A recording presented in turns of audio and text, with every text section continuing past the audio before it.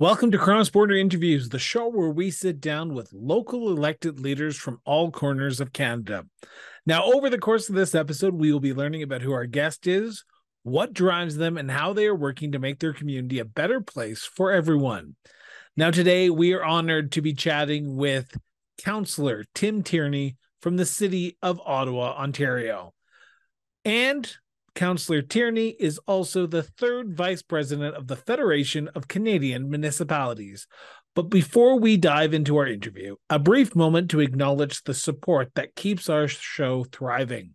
We want to acknowledge some of our new backers to the show John from Manitoba, Kyle from Saskatchewan, and Samantha from Ontario. Thank you for helping us grow the show and bring more exciting content to you and your fellow cross border community members. If you want to join the growing list of supporters, visit crossborderinterviews.ca and pledge your support today for as little as $3 a month. Now, let's get to the interview. Um, so Tim, I want to start with the basic question, and it's the question that I've been asking a lot of councillors, mayors, wardens, reeves, all the uh, uh, uh below uh, municipal leaders across this country. So you're no exception. Where did your sense of duty to serve your community come from? Well, actually, uh, Chris, I never pictured myself being a politician per se ever. Uh, it was my wife that pushed me into it uh, because we uh, had a local school that was going to close in our neighborhood, and I was actually in IT for 15 years, doing quite uh, quite successfully. And uh, they were going to close a local high school that one of my three children were going to go to, or all three, I should say. And my wife said, You're going to fight and we're going to keep this open. So I started up or revived a community association, uh, got it back on the ground and fought the school board and won. And then we had a couple other small things that happened in the community, like we had uh, a, a, fire at a hydro plant that destroyed uh, a lot of appliances and households in the community. I fought the hydro company and I won. And then they tried to cancel one of the public bus routes. So those were the three things that led me to this because then the public was saying, you're kind of okay at this. You should really think about running. And I ran against a long term incumbent and I was successful. And I've been in this role for 13 years since. So before we start talking about the election, I want to talk about the upbringing and who is Tim. So growing growing up, was politics discussed at the dinner table? And if so, was it more provincial and federal being from the Ottawa uh, capital or was it uh, municipal and were municipal issues discussed by mom and dad? Just in general, I think municipal issues, but it wasn't even related to the government. It's just you know the the typical uh, crying and whining about potholes and trash and all the usual things. And I grew up in a small village called Constance Bay, which is about 45 minutes from where I live. It's now within the city of Ottawa. And my wife uh, dragged me out 30 years ago. I live on the same street as my in-laws. It's a good thing.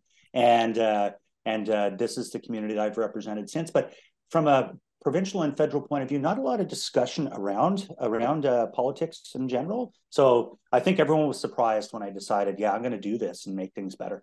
So were you considered a green candidate, like as in a new candidate? Because for someone who had been actively involved in your community, doing the school, uh, trying to keep the school open, making sure you were on community boards, would you consider yourself in 2010, when you actually did get elected and beat it, beat that long-term counselor, to be sort of a green new person on the council and not really having the sort of day in day out knowledge of what it takes to be a counselor or an elected official?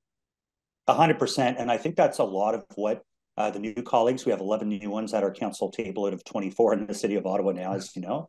And uh, so I'm the old guy, I'm Mr. Rogers of council. Uh, and so I'm actually helping school them. I had some great mentors back in the day between Rainer Bloess and Bob Monette and Eli El And you'll really learn the ropes quick, but it's it's hard. People don't realize you you start off in office, you have no tools or nothing. They just basically are like, go ahead and do some case management and figure it out on your own and have a good day. And uh, so I've been fortunate to have some mentors, but know I'm passing that down the road. I've been doing this for 13 years, and uh, I've picked up a lot of. As, as, a matter of fact, it's myself and one other counselor, Counselor Hubley, that are the two longest serving members on our council at this point. So I feel uh, giving back to our our green our green uh, elected officials is something I like doing. What's been the biggest uh, eye-opening experience? Because you, you have been on council for 13 years now and you're just in, entering your new term here. You're re- relatively a few months in. Um, what's been the biggest learning curve and what knowledge would you pass on to people who are thinking about putting their name forward for municipal council? Because you've been there you've seen the highs and lows i can imagine. And there are people probably watching this right now and this is where the show sort of comes in is what advice would you pass down to those people thinking about running for council or even thinking about getting involved locally? Definitely get involved locally first. If you're looking at taking a crack at running for any role within politics, you have to know your neighborhood. Uh, but uh, second, uh, don't um, social media is not true. It's not a real world. Twitter is not a real you, world. You don't say that, counselor. Come yeah, on. Yeah. I know. Sorry. I, I, look forward to your tweet about the show when it comes out. That is real, everybody. Uh, but uh, that being said, uh, I think a lot of people get into it and they don't realize a lot of the negativity out there, but it's not real.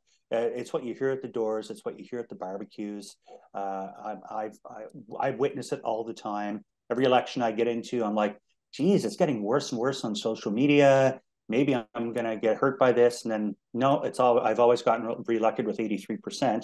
And uh, it's because you have to work hard within the communities. You have to get out there and talk to people. And that's that's the important part of the job. You can't sit at home and just collect a paycheck. And the other thing is, there's going to be a lot of lows, like you say, Chris. Uh, I think the hardest time has been the last uh, two years in the city of Ottawa. Uh, obviously, we have our problems with our light rail system. Uh, we have problems with uh, with um, uh, flooding, mass flooding in our city and storms. we had the convoy, and then throw into the mix. people are starting to forget about it now but COVID was no treat. That was the scariest day in politics for me when we were gathered in one big room and everyone was told, go home. And we didn't come back for a very, very long time. So how do you balance that? Because you're one person on a council of 25 people, if I'm not mistaken, 24 councilors and 20 uh, a new count uh, and a mayor. But how do you balance the needs of all the issues that the city of Ottawa faces without forgetting the people who've elected you? Because you've been elected numerous times with a large majority and you don't do that by not for by forgetting the people who have put you there. But as a counselor and you know this you are supposed to be there to represent the city as a whole. So how do you balance the needs of your residents versus the needs of the city? And I, yes i'm going to quote spock here by saying the needs of the many outweigh the needs of the few but how do you do that? Yeah you know it's working collectively on things. I'll give you a prime example. I was fortunate to be able to get the uh, new central library that's being constructed right now across the goal line as chair of uh, chair of the library board, and that is a, a, expensive but worthwhile project in the city. Some people, uh, even some of my constituents, weren't happy with some of the price tag, but it is something that is a citywide project. At the end of the day, um, I, I, you know, it, it, it is tough. I won't lie to you. I, I don't sleep a lot in general anyway. It's just something I don't do, and so you know, I I have a great team. If I didn't have a great team in my office to assist and help me with some of the, you know, more simple questions, you know, they forgot to pick up my garbage. Okay, you know how to contact, you can deal with that stuff. But then there's always the more complicated issues. Uh, neighbor wars are the worst. Uh, that's one thing that uh, I, I, warn all my colleagues: do not get involved in neighbor wars. Stay out of those things. Um, but um, yeah, it, it is a bit of a balancing act.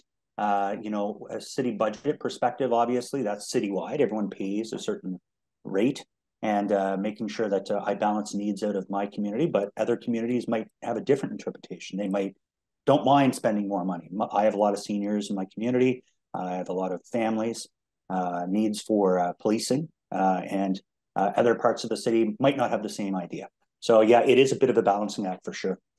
I want to talk about the balancing act with the provincial and federal government as well. And I know this is probably a loaded question, but I'm going to ask it anyway, because I think there's a very big apathy when it comes to local and municipal politics. And I say that with the with the caveat by by saying I the apathy is people just don't know what the jurisdictional roles of each level of government is. And I, I speak to mayors, councilors, reeves, all that across this country. And I hear time and time again when they first got elected to now, there's been a change of what people expect from their local councilors and with downloading with education, healthcare with COVID 19.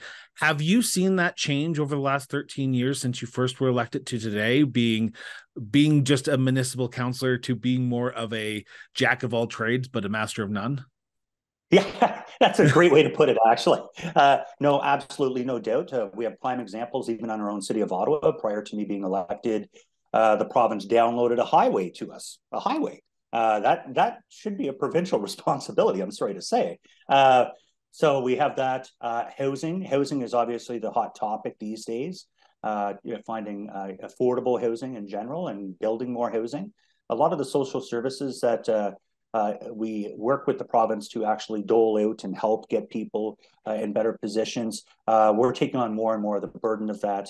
Uh, you know my role with uh, the Federation of Canadian Municipalities. I'm very privileged to uh, now be the third vice president, working towards 2026. having a great mentor like Scott Pearce as president. That guy guy's quite the character. He's awesome. We like him, and um, but we all are facing a, very similar pressure. Uh, the provinces always like to remind us we're a corporation of the province, uh, and uh, that minimizes, uh, in my mind, what people think of us. I don't think that's the appropriate term. Uh, but when it comes to federal government giving to the provinces, that's supposed to come down to us.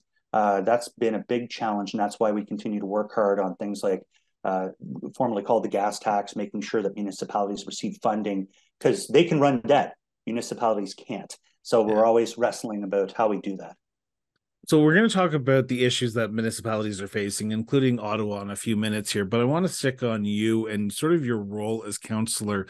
Um, walking into that council chambers every single time for a council meeting, you have to be knowledgeable on a wide range of issues that are going to face your community, but you have to be prepared to a pivot on some issues.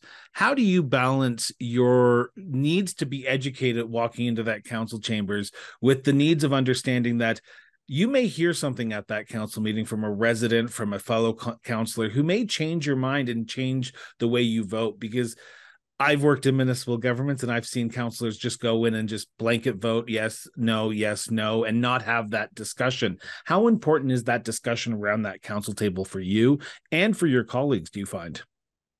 Hugely important, Chris. Uh, I you learn that. Uh, unfortunately, it took me a couple years to figure that out. Uh, I you do a lot of reading reports in advance of the meetings, obviously, lots of lots of reading, and then, but at the same token, uh, I always reserve my vote for the table. I, I actually don't really confirm it unless I know it's a, a one specific issue that I am fighting for uh, and I feel strongly about. If it's my motion, obviously I'm going to vote for it. Um, but um, at the same time, I always wait till I get to the table. If there's more questions, we always go through committee anyway, and there's nothing uh, stopping us from changing our vote that we do at a committee level versus the, the council level if there's new details that come out in between. And that has happened. Um, so, but no, I, I like to leave it right at the table because there are these nuances that pop up and you're like, hey, wait a minute, I didn't know about this. This is new information to me. I want to research it. The reason I asked that is because uh, you mentioned his name, Scott Pearce, and I, I, I always feel obligated to send him a check for this quote. But he said at the FCM conference in Toronto local government is the government of proximity. You guys are the closest to the people, and I've never uh, attached to words closer than that.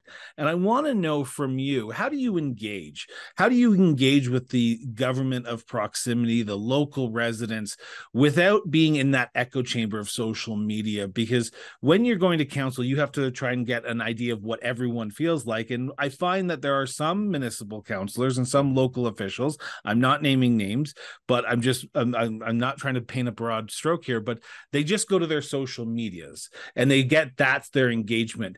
But there's people at the doors who don't use social media, and I can imagine you know that. So how do you engage with the government of proximity to the closest people and make sure you are hearing all sides of the story? And and and Scott's line is absolutely correct. That's why I'm wearing the shirt. Uh, it's a little tighter these days, but uh, that being said, uh, I have uh, very over 13 years amassed a very good system of uh, my e-blast list. It's very, very sizable. Uh, those are my people. I know they are because we uh, at, at events, I always collect them. Like, please get on this list. I want to hear from you. Uh, so it's a more one-on-one. It's a real person. It's not, you know, something 3,000 on Twitter. And, uh, you know, uh, again, a lot of local events. I'm I'm the king of local events uh, in the city. I, I, we do about 21 different events a year between uh, barbecues and uh, family movie nights and things like that, and getting out and actually talking to the people. People think, oh well, you're just promoting yourself at these events. No, no, no, no. I'm out talking to people. Or uh, halfway through the term, I always well, usually every year, I like to go out and do some doors anyway, and just check in on people, see how things are going every event I go to, people come up and they'll be like, Hey, I hate to bug you. I just have one quick question for you. And that's how you get that engagement, find out what's going on. The, the grocery store, Chris, I'm a daily shopper, which is painful because I go in for one meal with uh, for my wife. Uh, my wife always picks it out and says, "Okay, go get this at the local metro." And I get in there, and half an hour later, I'm out of there. But uh, staying engaged, staying in the community. You, again, you can't do it from behind the screen. You actually have to get out there and talk to people, or have direct contact with them via uh, email. I do a physical newsletter. I still do those. I know some people think they're old fashioned. They're not. There's a lot of no. seniors they don't they don't have. So uh, you know it's a very expensive. I'll tell you Canada Post, uh, but uh, it's it's worth every penny because I have that engagement. And every time I run into people, they're like, "Hey Tim, I got your newsletter," because the local papers are dead now too. I don't have any local papers in my community, so I have to create my own uh, ability to get the information out there. You you must have listened to an episode or two because you you, you sort of stole my question that I was going to follow up here, but I'm going to ask it anyway because you're counselor 24 7. You are counselor at the events, at the grocery store, wherever you are. You're not, and I, I, I can't say this to you because literally your MPs literally live in Ottawa and they're going to be working in Ottawa, and, and but your MPPs go off to Toronto.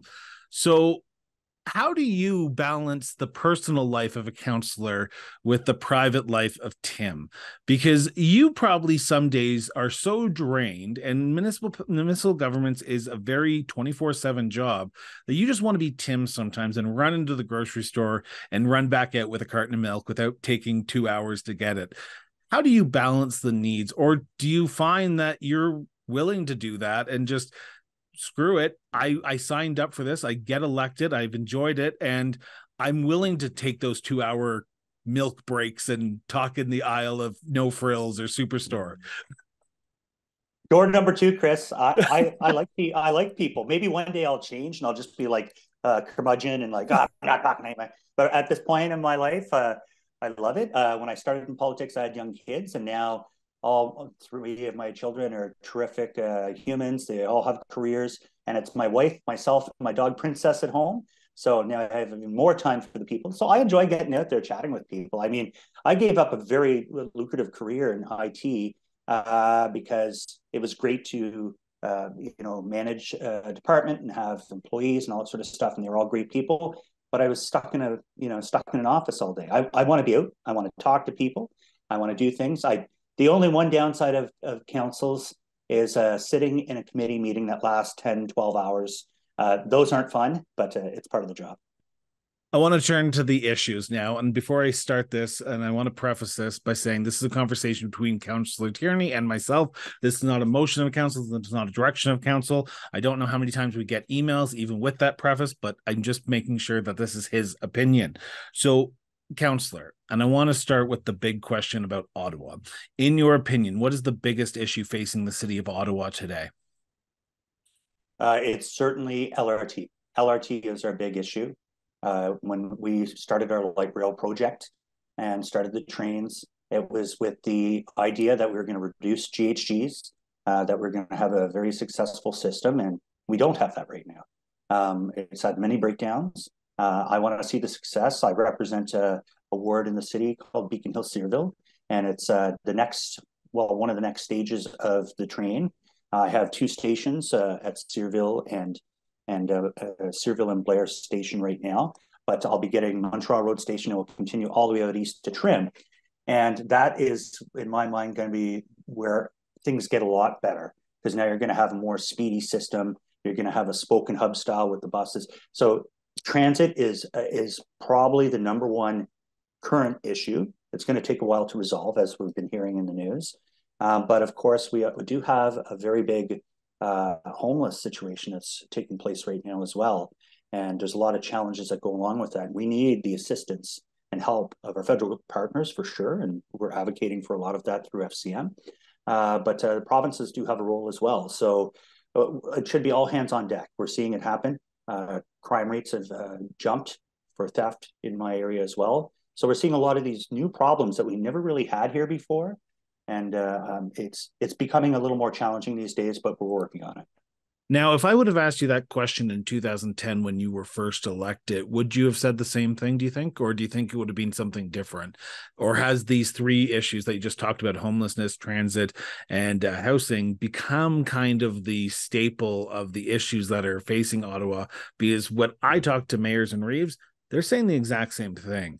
So in 2010, when you got elected, would you have said those three things as well? And not at all. Uh, you're quite correct. Uh, I think back in in the old days, it was all about the tax rate and it was about paving roads and potholes and light bulbs and all the great things that municipal politics used to be. Uh, but now, like you, we mentioned earlier in the interview, um, that's that's not the new world for a municipal politician anymore. It's take, being everything to everybody. So there's no there's no lanes in politics anymore, uh, fortunately or unfortunately. But we do need the assistance of our federal government partners for sure. So, how is the city of Ottawa trying to adapt to these new issues? Because um, it is a all hands on deck uh, analogy here, because the federal government, the provincial government, and the municipalities all have to come to the same table, but they aren't and i'm not trying to be rude there but they're not. And it's hard for municipalities to thrive and try to fix issues like transit like housing like homelessness when they don't have all three party parties at the table. What are you doing as councillor and what is the city of ottawa doing as a municipality to ensure that these issues are addressed at the queen's park and the house of commons? Yeah, and, and, a great question. It's you know, as a as a from a city perspective and a council perspective, uh, you you hit the nail on the head. We have all our federal partners here working out of Ottawa, so they're the ones that are walking down the sidewalks, uh, seeing homeless, uh, seeing all the problems that we're having. Drugs, drugs. I the drug situation aggravates me a lot, uh, uh, especially over the last six years. Uh, you know, fentanyl, it's out of control. Um, we need help with these kind of issues. And you know, when I put my FCM hat on, uh, that's why uh, 2,000 member municipalities plus, we all get ourselves on the same line because we don't. You can't ask a million things. You got to be specific in your ask. But these ones are specific. It's about helping with the the uh, the drug problems, helping with the homeless, uh, helping with the housing, and we go in and we advocate to all the MPs on, and ministers on the Hill on a regular basis. But then we also have our other arm, which is our associations uh, like uh, like uh, AMO, which uh, works with uh, Ontario, uh, the 444 municipalities, and we also link up and chat and try to figure out because we have the same issues. We all have the yeah. same issues, and and it helps us lobby all for the same kind of thing. Do you see FCM playing a major role in the next few years while you're trying to address these issues? Because, like you just said, in 2026, you're going to be the president, and who knows what the issues are in 2026 are going to be. We may new have a new federal government, you may have a new provincial government, so we don't know what the issues are going to be. So, as you're navigating the third vice president, soon to be second in Calgary in 2024, what are you doing to ensure that the issues federally the federation is dealing with are addressed as well because you're the city councilor for Ottawa. You're uh, a local boy. It seems like you want to represent your local municipalities, but you've decided to go let's let's do this on a federal level as well. So how do you ensure that the issues federally in in can in Calgary, in Edmonton, Regina, Winnipeg, so on and so forth, are addressed because you're right, they are the same issues, but the uh, how you solve them are going to be different for Edmonton compared to Saskatoon compared to Ottawa, aren't they not? You're certainly right, Chris, and we talk about this all the time collectively as a group, as a board. Uh, we meet uh, four times or three times a year, forgive me, and we have our advocacy days on the Hill where we speak to MPs and ministers.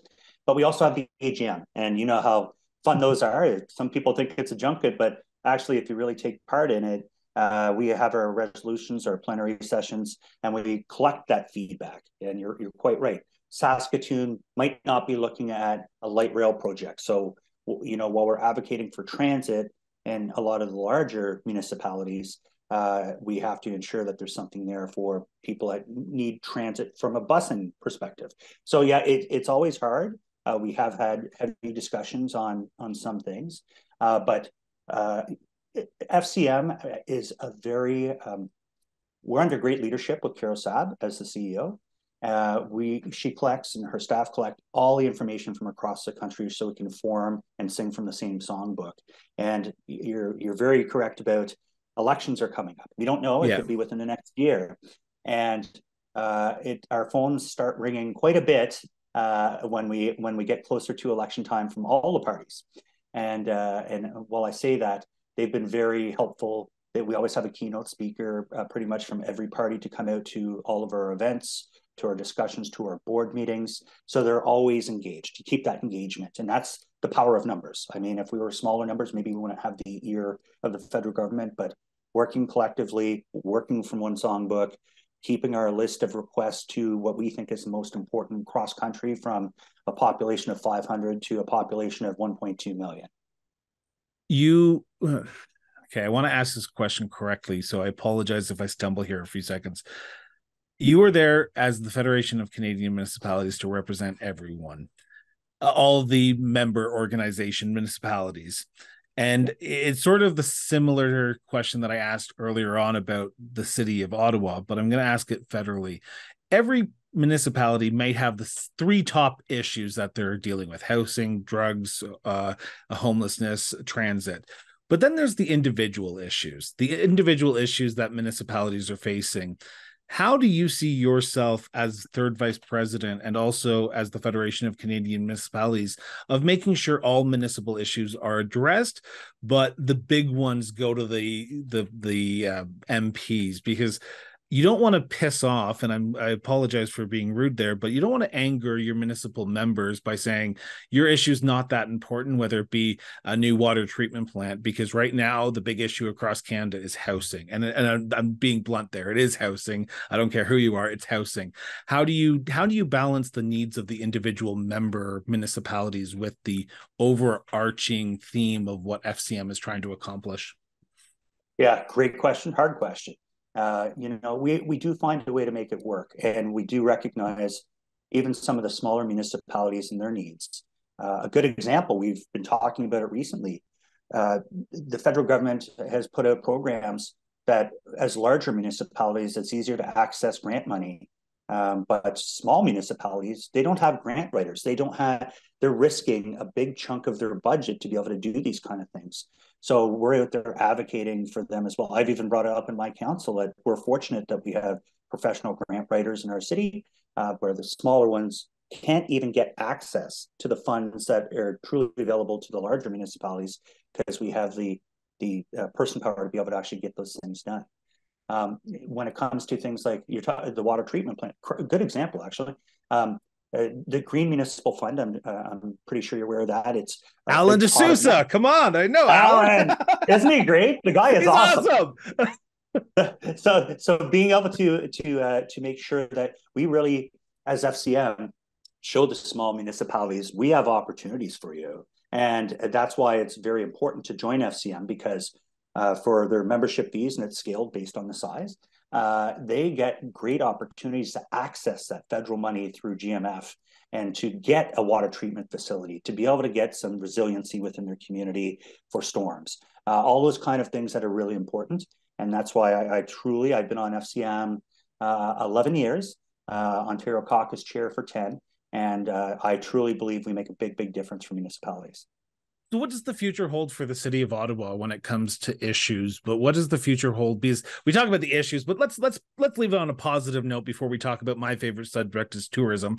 What do you see as sort of the future of the city of Ottawa. And I know you're laughing about tourism, but I, I like it. I, I, went to your city just recently it. and I toured your city just by myself and my mom, and it was great. And I got to see firsthand some of the issues and some of the things that I, I love seeing. But for you, what, what does the future hold for your city of Ottawa? Uh, I, I, you know what? I feel very positive. I think uh, we do have our challenges that are going to be ahead of us.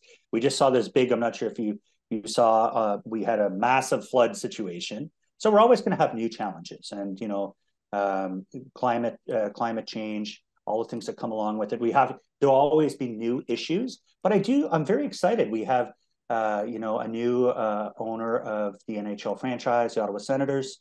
Uh, possibility of seeing that move downtown, changing. Uh, the, the, the city is changing. This new central library, joint between Library and Archives Canada and ourselves, is gorgeous.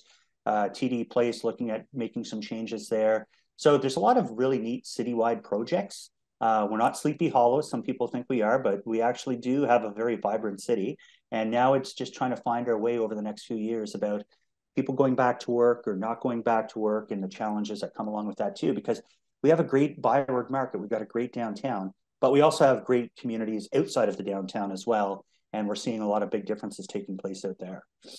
So I want to talk tourism because I am cautious of time here and I know you're a busy man. So I want to start with this. We all know that Ottawa is the home of the House of Commons and Parliament Hill, and that's a big tourist market. But I want to know the hidden gems. I want to know the off the beaten path. Where do you go? Where do you send people that most people don't know is in Ottawa and you would highly recommend them see if they're visiting the nation's capital next week or next month or even next year when I'm there? Awesome. I can't wait till you're here. Chris, when you're here next year, uh, we're going for a scoot. That's something yes. that's kind of cool in this city. And uh, we are actually one of the municipalities that uh, really led the charge. We got the new smart scooters. So you go for a nice scoot downtown, go for dinner. We have a lot of great restaurants. Uh, I probably shouldn't name some of them, but we got we got some really good. Al Steakhouse, I, I like it. Sorry. Um, uh, there's a couple of uh, great scenic areas as well that I think people just don't know about. We got some nice uh, caves out in the Orleans area. Uh, we got uh, we got beautiful uh, farmers area, but one spot uh, that I'm a, a, a, big supporter of is craft beer, and we have mm-hmm. some of the coolest craft beer spots in the entire country. I actually jokingly um, um, speak to other councillors and mayors across the country, and we exchange local craft beers. I got one called Dominion City Brew Company. It's right in my ward and it's uh, now turned into a, a, large facility. It's got a great bakery called Almanac Bakery, and uh, it's all these little cool kitschy things that I kind of like. I mean, it, you know, there's things for franchises, uh, franchise restaurants, but I like the smaller, the more local touristy kind of things. And uh, oh, I wish I knew this because I'm gonna as soon as we're finished this call, I'm gonna remember 100 things that you should check out. But Science and Technology Museum is great. They've done a great job. We've got a lot of great museums in the city that I don't think a lot of people even know about.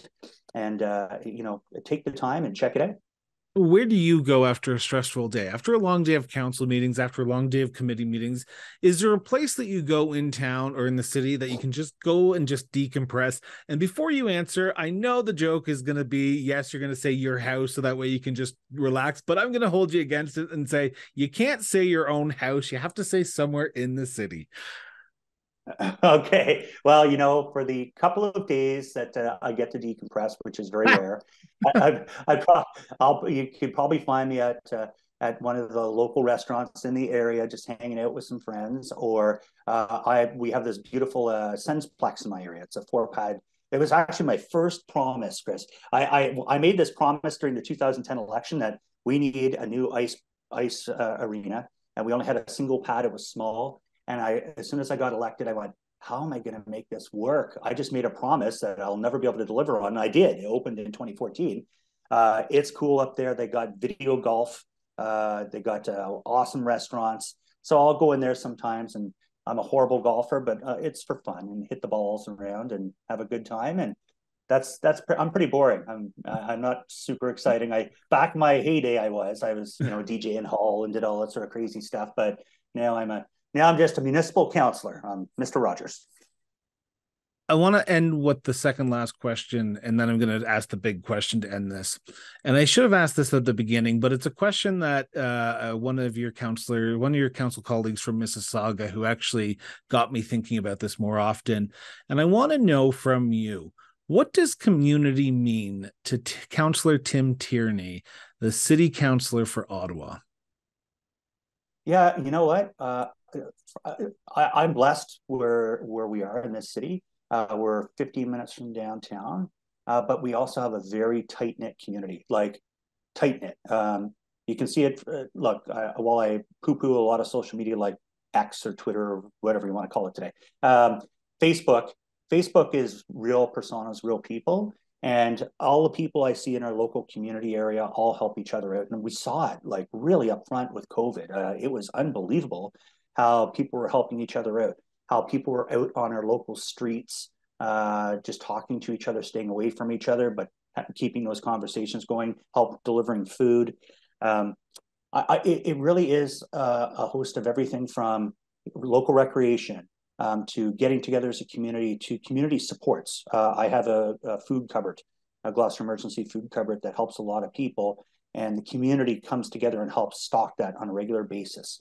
Those are the kind of things that make a community. Um, it, it, and getting people to talk to each other, I think, is really important as well. So, yeah, that's kind. Of, I think that would be my definition of community: is just uh, a lot of people that get along with each other and make sure that uh, we're doing the best for for the area.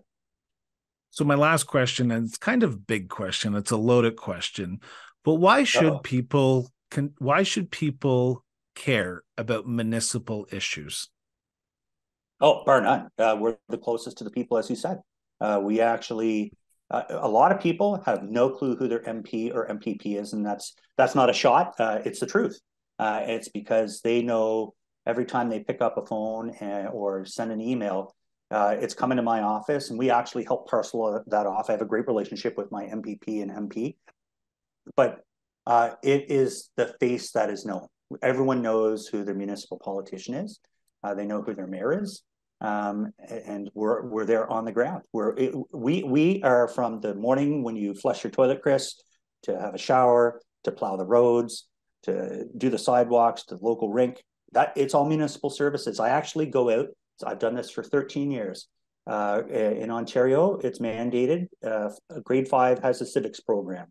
Uh, I always uh, go into their classrooms, teach them about municipal politics, and then I bring them down to City Hall and stuff them full of pizza and send them back home. And guess what? A couple years later, oh, I do it every year. A couple years later, uh, I'll be out walking around, and uh, th- that student that I went in their class that was really excited and got really engaged in it they come up to me at the local grocery store, you know, mommy, mommy, look, it's Tim. And you know, that that kind of engagement, it's right there. Like we're we're right in front of everybody all the time. We're not, I think that's the thing. We're we're we we create bylaws and, and do all these wonderful things. We we're not just policy wonks. We actually get stuff done. Tim, I want to thank you so much for this. This has been an absolute pleasure talking for 40 minutes about yourself, the city of Ottawa, FCM, uh, housing, uh, homelessness, uh, scooters for some reason, a beer, craft brewery. So thank you so much for doing this. Uh, thanks a lot, Chris. And uh, next year, let's go for a scoot, and then uh, we'll catch up also in Calgary. Maybe we'll find a bucking bronco or something out there while we're out there. Who knows? Thank you for joining us for another episode of Cross Border Interviews. Your continued interest in delving deep into the issues that shape our communities across Canada is both inspiring and essential. Now, as we wrap up, it is my hope that you've gained valuable insights into the intricate world of municipal politics. Now, if you found this dialogue as engaging as I did, don't forget to hit that subscribe button. By subscribing, you're not just staying up to date with the latest conversations, but you're also playing a vital role in supporting our endeavor to bring you more meaningful content. Now, we couldn't embark on this journey without your support. Creating content that sheds light on the issues affecting municipalities requires both dedication and resources. Now, if you believe in our mission and want to help us to continue to grow, please consider visiting our support page conveniently linked in the show notes below or by visiting crossborderinterviews.ca. Every contribution, no matter how big or small, goes a long way in ensuring that we can keep delivering the kind of content you've come to expect from us. Now, once again, thank you for being part of the Cross Border Interviews community. Your engagement is what fuels our passion for shedding light on the issues that truly matter. Until next time, stay informed, stay engaged, and most importantly, stay talking.